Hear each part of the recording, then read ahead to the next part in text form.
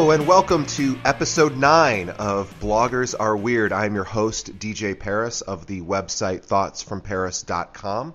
And I first just again want to say thank you for continuing to pass the show along. I got a cat who's uh, meowing in the background there. She's not a big fan of the show. But anyway, I appreciate you that are listening. And there's my dog when you have a moment, if you don't mind passing this over to a friend, family, colleague, HR representative, anyone, and go ahead and let them know that this is the show to listen to if you like listening to bloggers talk about crazy stuff. And today we actually have a, a quite serious episode. And full disclosure, not a lot of laughs in this one because we deal with a topic that is extremely dark and and unfortunate, which is called GSA, which is also known as genetic sexual attraction. My guest Julie Deneen has been all over the media recently with her new book Wanted, a memoir. And since I'm not sure if it's completely clear in the beginning of the interview, she has written a story where she found herself after reuniting with her biological father in somewhat of a romantic relationship with him. And it is an extremely complicated scenario. Uh, Julie's incredibly honest and interesting, and she's a friend. This is just one of my favorite conversations I think I've ever had. So grab a tall boy of Hennessy or whatever your drug of choice is. Mine are the theater sized boxes of runts, except for those horrible banana ones. Sit back, relax, and enjoy.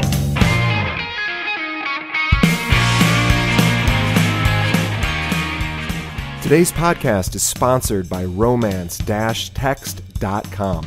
Looking to reignite the passion in your relationship? You have to check out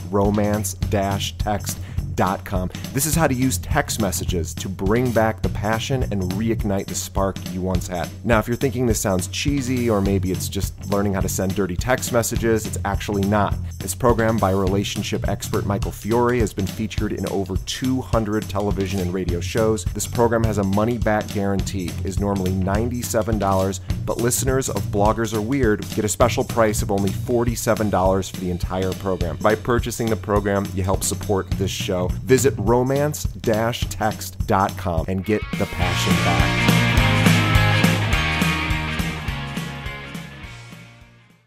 First reunited, I felt like it was such an emotional journey. I wanted to write the story of reconnecting with my birth father, but in a positive way. So I had already started taking notes and kind of going back into my history and then obviously when things fell apart and got really hard, I put the whole thing on the back burner. Um, and when the relationship ended, I began writing again, just kind of as therapy. Um, but eventually realized that there were other people in a similar situation as myself that could probably benefit from hearing my story. Yeah, it was interesting to find out that your first therapist really wasn't versed in genetic sexual disorder and no, or I'm sorry, is it is it it's GSA? Genetic uh, sexual attraction, yeah. Um, although I guess you could probably call it a disorder of sorts, but definitely um, dysfunctional. definitely, yeah, for sure. You know, about as dysfunctional as probably very codependent. Yeah, yeah, yeah. And I was thinking on the way home today that this is a terrible joke, but I thought, well, if you fall in love with your mom, you now have a sequel. So. Oh God, that would be so awful. Yeah. Uh, well, maybe you have a lovely mother. Who knows? but but I was really taken, and and I, I again I hope this isn't in any way offensive to you, but how I was taken by how horrified I was, and yet touched at the same time.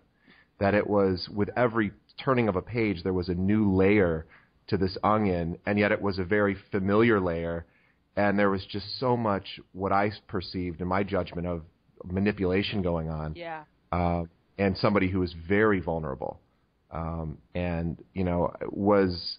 And the other thing I thought was really cool was that uh, that it seems so recent because you have the you have the timelines right. listed there. Yeah. And it was like, well, this was happening the last two years.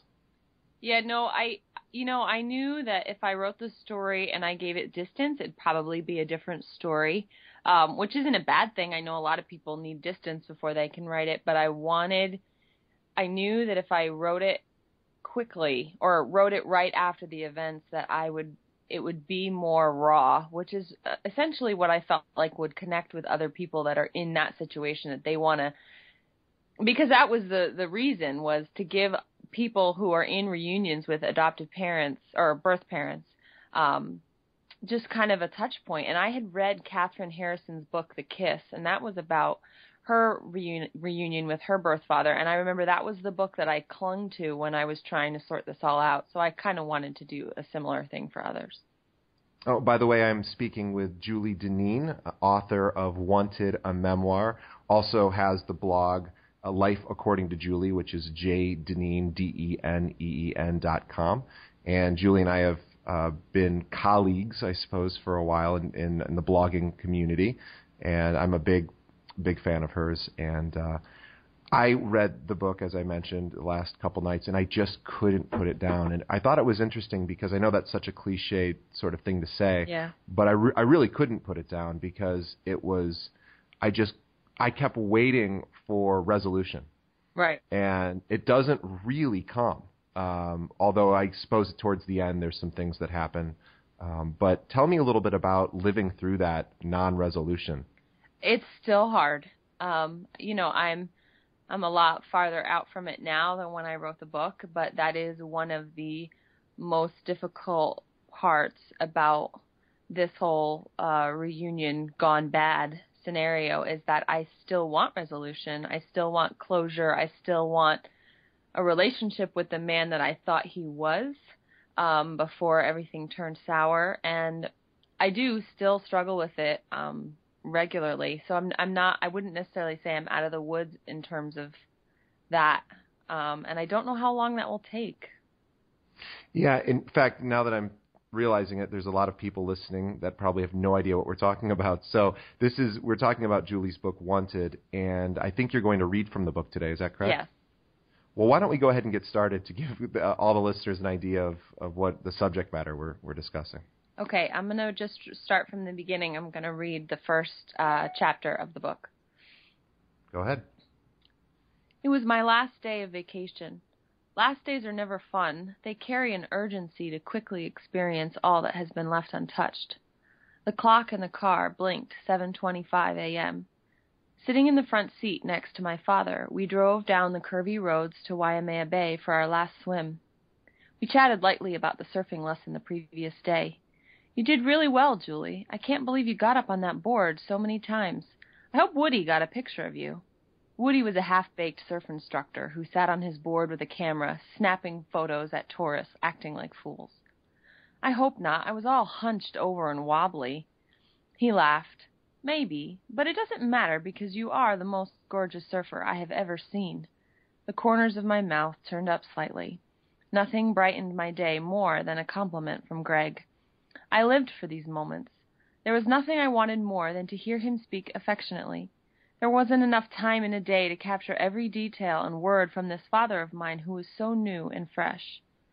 I watched his eyes disappear when he smiled, studied the markings along his face. He showed his years of drinking with a bit of a belly and a receding hairline, but continued to surf, ski, and hike like a young kid. I'm sorry we've wasted so many years, he said. I would do anything to get them back. Greg trailed off.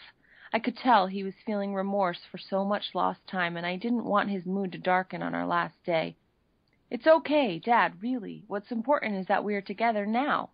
I reached out for his arm in reassurance. He put his hand on top of mine. You're right. Together forever, just you and me. I winced, briefly, but recovered. It wasn't just him and me any more. Maybe if we'd had the chance to be together when I was two or three or four, there'd be nothing but Dad and Julie to explore the world. Thirty years were gone, and I was no longer a child.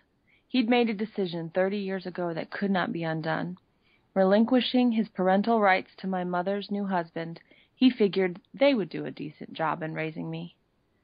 Dad, it's not just you and me anymore. It's your wife, it's my husband, the kids, too. I thought to myself, but I didn't dare speak it out loud because sometimes I wished it were just the two of us. I wanted his undivided attention, but it wasn't real life. I couldn't be the apple of my dad's eye the way I might have been as a small child.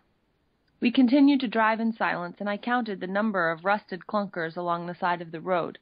Early morning surfers wrestled their long boards off of roof racks, ran barefoot into the waves. How whimsical not to wear shoes, I thought. So much about Oahu represented freedom. Julie, he said. His voice sounded strained. I looked over at him, noticed he was gripping the steering wheel so tightly his knuckles were white. Yes? Well, I have an email I wrote to you a while back. I never sent it because I didn't know if I should or not. It reveals something about me that is very private, and I don't want it to change anything about our relationship. He continued to stare ahead at the road. My mind started to race. As scenario after scenario played in my head, I wondered did it have to do with his past? Maybe mine? Would he reveal something about why he'd given me up for adoption thirty years ago? I felt the trickle of sweat forming around my forehead. My heart started beating wildly, and I stared down at my hands, picking absent mindedly at the polish on my nails. I wanted that email now. I didn't want to wait for him to push send so I could read it on my computer back at our condo. Eagerness surged through me. Can I see it? I tried to sound nonchalant, but I was anything but.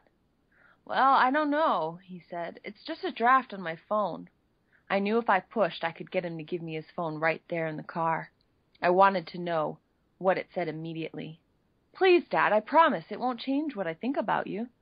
His hesitation only ripened my curiosity. All right, but remember, it's only a draft. He took one hand off the wheel, reached into his pocket, and pulled out his Blackberry. Taking his eyes off the road for just a moment, he pulled up the email and handed it to me. I looked at the screen and I stared in disbelief. The first six words took my breath away. I want to kiss your lips. I couldn't read anything else. I tried to, of course, but every word slipped out of my grasp. Those six words commanded every ounce of attention that I had. I let my hair hang down in front of my burning cheeks and I panicked. I continued to stare at the screen as if I was reading, but I was buying time. After a few minutes he spoke. Well? What do you say? he asked tentatively. No, no, this is not okay. I screamed it in my head, but the thought never materialized into the spoken word because of my gut wrenching fear. Um, wow, Dad, um, let's see, I'm not sure. I'll have to think about it. Maybe later I'll write down my thoughts and I'll respond.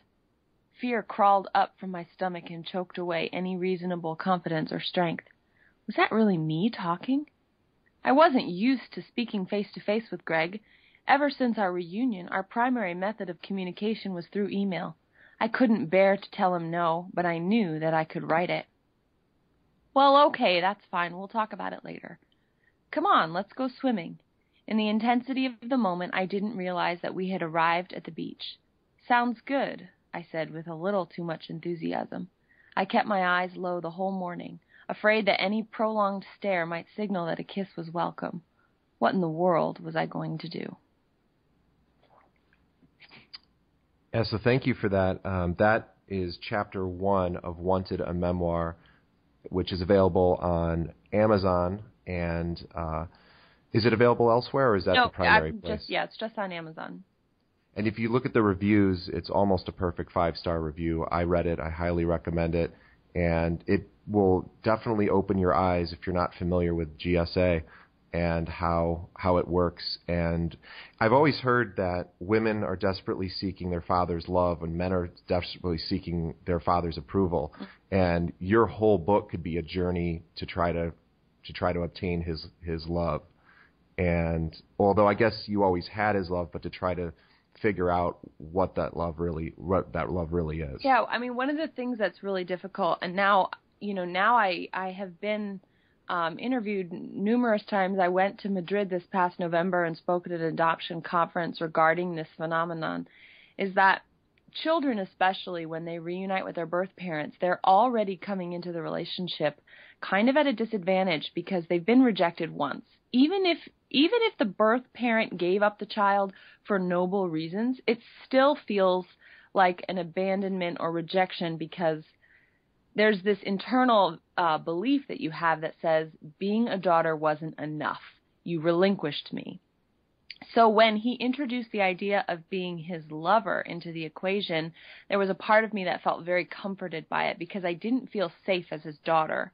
But I knew if I could capture his attention the way he wanted, which was in a sexual way, then I would have him and then he wouldn't go anywhere. And so that was really comforting and it was very addictive and it was very difficult for me to say, no, this is sick and wrong and twisted and he's manipulating me and you know, this is psychological abuse. I couldn't see any of that for a very, very long time.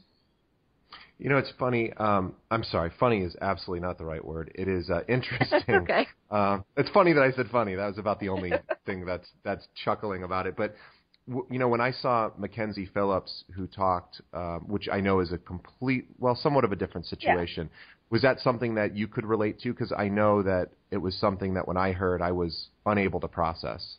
Yeah, I mean, the thing is, I think I heard it before I reunited, so I remember having a very similar reaction to probably most anybody, which is just being horrified. Um, you know, her situation is different because she grew up with her father, so that's even that's even more dysfunctional, I think, than what I had to deal with. Um, but absolutely, I I can relate to her now. I, I totally understand how people get wrapped up into situations that they think would never happen to them. And it's really just like a slow fade. It's just one little step at a time until all of a sudden you're like, how the hell did I get here?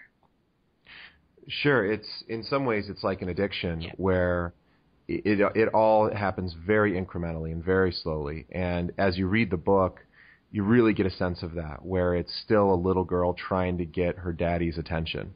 And you know, and his attention is there, but it's very complicated. Yeah. With his with his own you know dysfunction and. Now, one thing that it didn't really go into, or at least I didn't notice as much in the book, was his own sort of progress with you know his feelings. I know he seemed to try to be processing them, but was he getting help at the time, or was he kind of on his own? No, he wasn't. And you know, I still struggle with knowing where in the timeline he went from viewing me as a daughter to uh, a woman that he was wanting to be with sexually. Uh, for a very long time, I thought that it was not there right at the beginning of our reunion because uh, the beginning of our reunion, I mean, if you read it in the book, it's very fairy tale like. You know, he embraces my family and my husband, and it's just this like happy family thing. And so I don't know really where in that timeline, except that I can go all the way back to probably one week into our reunion. Um, and I can look through some of his emails and I can see traces of um, just the problem starting. So he was getting no help. He did not go into therapy until I finally severed the relationship in October, and and was addicted to alcohol um, through the entire relationship. So it did not help matters at all.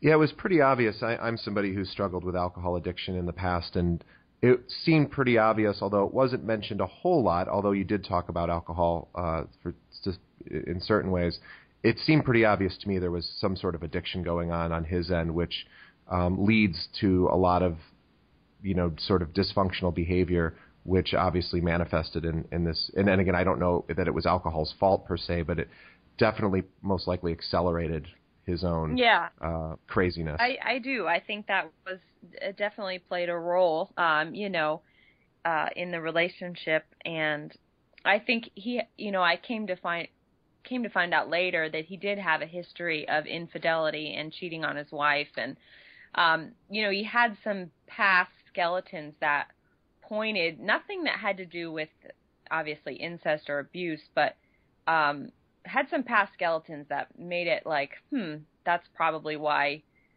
you know you saw this as a prime opportunity. And, and, you know my it took a long time for my my current therapist to help me see that even though this was GSA and it was a different scenario than traditional incest he was still acting very much like a predator even if he didn't mean to. And i don't think he meant to but it doesn't really change the result no, it doesn't, and it was. I felt very predatory, and um, you know, this is uh, predators, to my understanding, really prey upon fear, and you know, the fear of loss of someone's father or the connection there is about as primal a fear as as for a young woman as you can imagine. Yeah. So there's really probably nothing scarier than the loss of a for a young girl the loss of her father and you were really a young girl as an adult going through this process which as an adult was just ultra complicated. Yeah and it's it's very hard. He still to this day does not see me as a victim in any of this not from 30 years ago and not now. And in, in some ways it's scarier because he has not owned up to the reality of what's happened and and said, "Yeah, Julie, you were a victim in this, and yes, Julie, you were at a disadvantage in this relationship," because I don't think he sees it that way. Um, you know, you could throw around terms like he's a narcissist or he's got you know personality disorders. I don't know, um, but I know that he is a very very smooth talking, highly successful salesman who has always gotten what he wants. Um, you know, so I don't know. Yeah, well, let's talk about your your husband for a moment, if you don't sure. mind. He, I was so impressed, and I'm sure you've heard this before in other interviews, but how well he seemed to handle a. I mean, I wouldn't have been able to handle that situation with as much poise and grace and level-headedness as he did. Um, yeah. That I mean, he just wasn't willing to leave. No, and he, you know, from the from the get go, he, you know, when I was in this like thrill, the honeymoon stage, and I was so excited to reunite with my father, and you know, I was always very honest with Andrew, telling him all the details, and so when things went south, I did tell him, you know, right away. I think I called him about 10 minutes after my father kissed me. And so I think there are three things that kept us together. One, I think the fact that I continued to go to him with it was huge. Um, even if I kept things from him for a couple weeks, I couldn't last more than probably 14 days before it all just came tumbling out of me.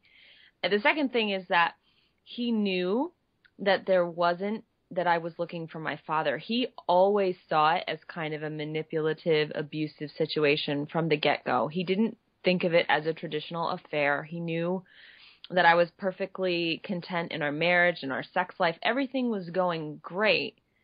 So, in I think in some way he probably compartmentalized it a little bit, like and split off some of himself just to cope and survive. Um, and I said three things and now I can't remember, but I think those are the two main things that really kept him um, sticking by. Oh, I remember. And I think the third thing is that he was so afraid for me that he was afraid that if he left and I was still in a really vulnerable spot that I would that I would run off with my father and end up in a scenario where he was in jail and I lost my children. And you know I think he was afraid for my life quite honestly.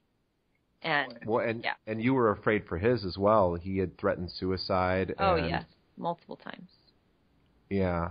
Um so your husband, thank God, uh, sort of saw the forest through the trees. Is that yeah, the right expression? Yes. that's about as perfect of a metaphor for that scenario as he truly saw saw the map and and or or saw the territory and not just the map.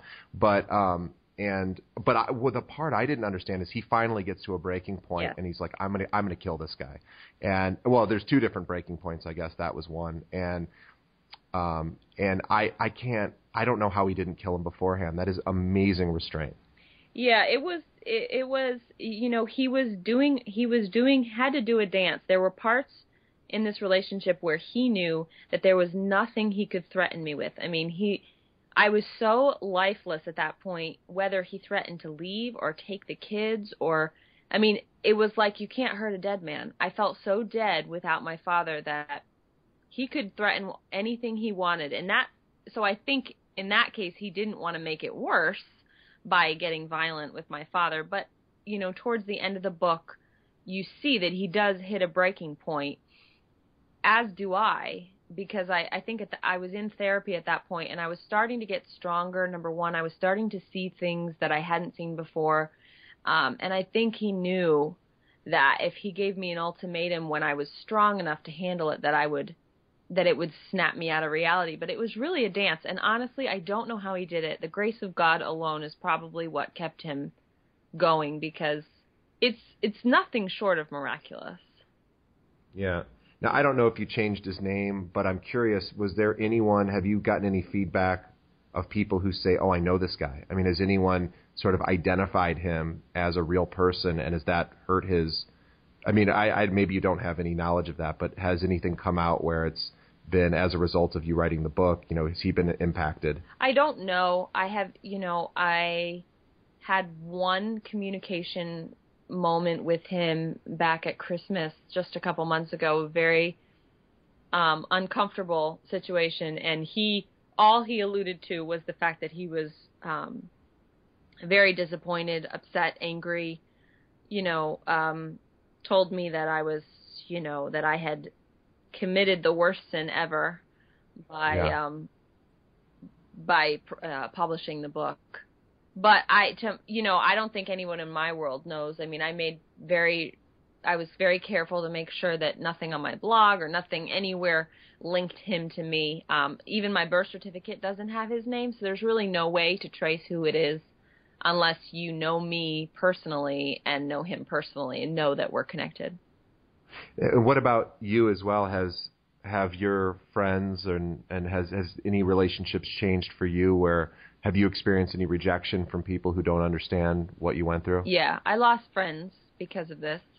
Um, people who couldn't understand how um, I got myself into this situation. You know, I don't know if you've ever been in a relationship with somebody who's in an abusive relationship and you just want to rescue them and you can't because they need to see it for themselves. And so I lost a bunch of friends because of that in the midst of it.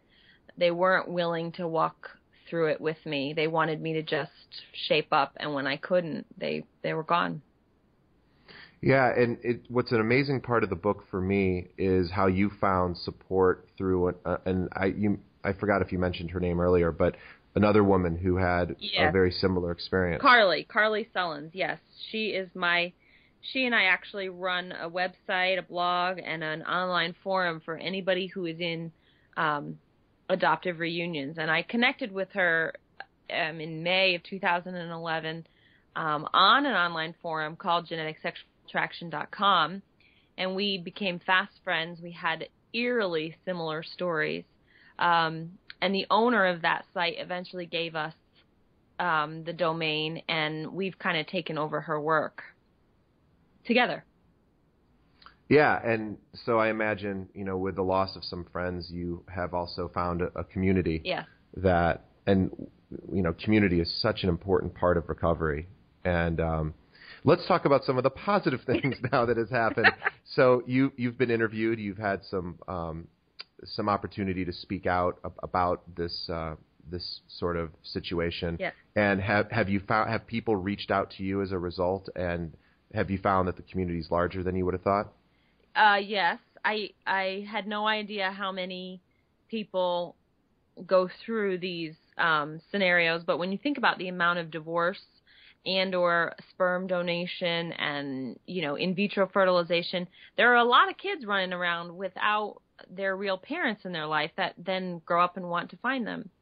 Um, I did do uh, two interviews with Dr. Drew. Um, uh, we did we were featured carly and i were featured in an abc news article in may that kind of exploded and gave us lots of um, publicity for our blog which then in turn um, you know i get emails at least once a week sometimes daily of people who are in the thick of a reunion and struggling with um, these unnatural feelings and don't know what to do or where to turn um, i've had a couple other interviews i have uh, a woman in UK in the UK. Um, National Geographic has contacted us. We may be doing an interview with them.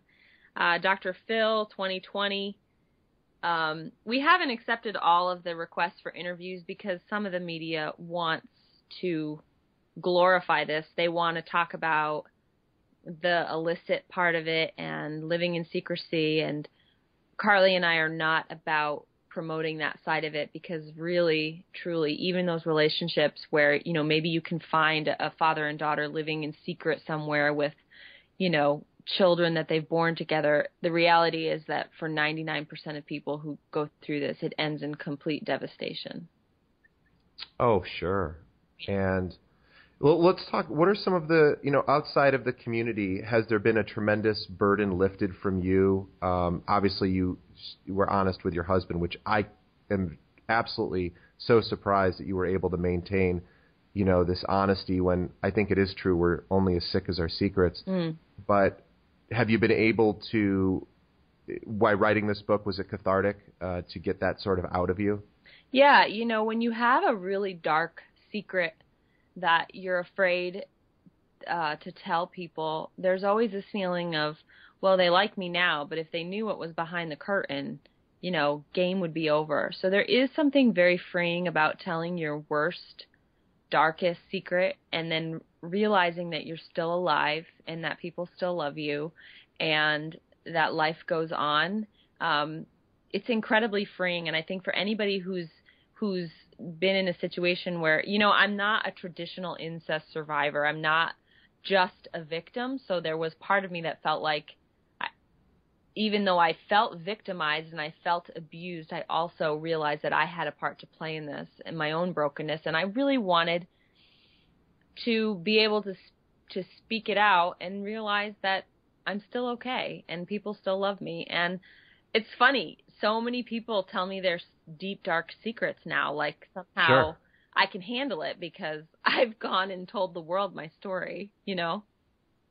Yeah, and it, it is it is absolutely the case where it's been my experience that humans want and and I, this was taught to me by my therapist, but it's so true is that the way to intimacy is through sort of revealing Mhm. deep dark nasty things and then the other person feels not only close to you but comfortable enough to share their own their own shit Yeah. and and I'm sure that that comes it must come pouring out to you. You know, I bet it comes um in it, do you get a lot of well you're just saying you get emails um Mhm.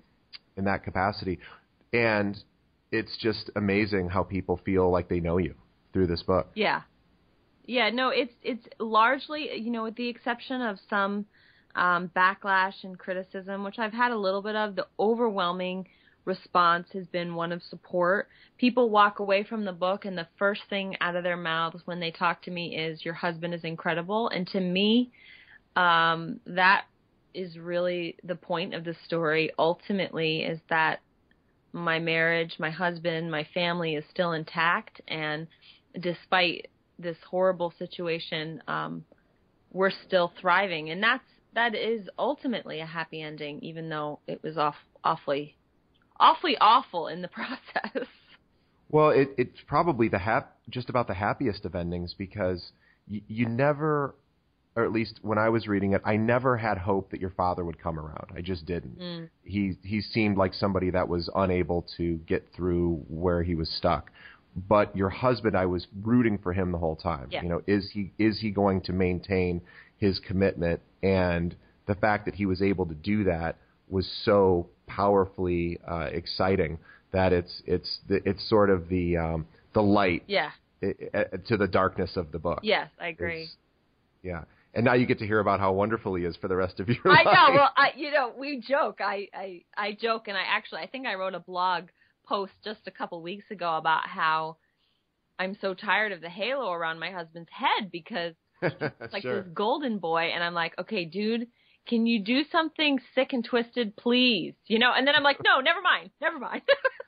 Right. Well, I, you know, there was a point where I, uh, you know, because the one thing that we did, we haven't talked about, we don't need to necessarily, but is your husband, I'm sorry, your father's wife, and how she was somehow she got some of the information, but not all of the information, and and but your husband knew all the information, and so he was in a really unique spot. Was you know, do I tell um, your father's wife, you know, certain bits of information, and what does she need to know, and what what can she handle? Yeah. And the fact that you were just able to give all the info to him is just absolutely remarkable to me. I mean, I, I couldn't imagine nine out of ten people wouldn't have done that. They would have kept that secret very close to the vest. Well, it was, you know, my husband and I have been together since we were teenagers. Um, I think we started dating when he was still 15 years old. I don't honestly know how to live life without him, and we were friends for many years before we became um, lovers or husband and wife. Um, so it felt it it was kind of just like you know, in those mo- in those moments where I was really vulnerable and kind of distracted with my father, you know, our marriage was on the rocks, but we I still depended on him as a friend, and I think that's probably harkening back to our childhood years, and so it, it, it was like I didn't I felt like I didn't have a choice. I he knew something was wrong even if I spoke not spoke nothing. I, it wasn't a secret. I couldn't keep it from him, you know. right. I would have Well, if you- I could have. Well, it's it's good that you couldn't have, and I just think with he was present for pretty much every interaction. You know, physically he was Yeah. around.